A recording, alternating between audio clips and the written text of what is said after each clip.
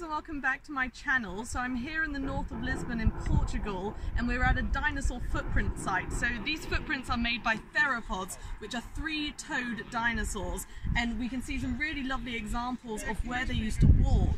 So the way these footprints are preserved is because it's in like a mud or a swampy environment so they literally walked here millions and millions of years ago and we can literally walk with them so we can walk inside their footprints. So I'm going to take you guys with me now and we can take a look at the footprints. So this used to be a quarry and then once they found the footprints they stopped the quarrying to preserve them. So we're walking now and if you look you can start to see these three toes from the theropod. So we've got one here, then the next step is here and we can literally walk with them like this.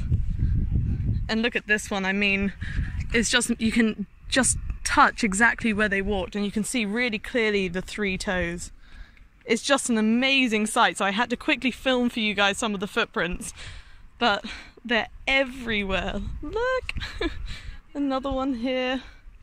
I am generally in heaven. So I'll try and link down below um, some information about this site if you would like to know more. But um, this is just a really quick video, just walking with the dinosaurs because I thought you guys would love it just as much as me. They are just amazing. I mean, to be able to touch them and get this close to them just awesome. I'm not so sure i agree with it because it means that they degrade like every year more and more tourists and visitors. You know they are getting very eroded. But um, in terms of you know how visible they are it is an amazing site so maybe it needs slightly different management but that's just my uh, geoconservation brain talking.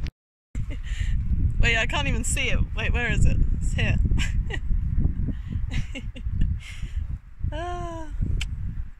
heaven. so um yeah, thank you so much for watching and hopefully I'll see you next time.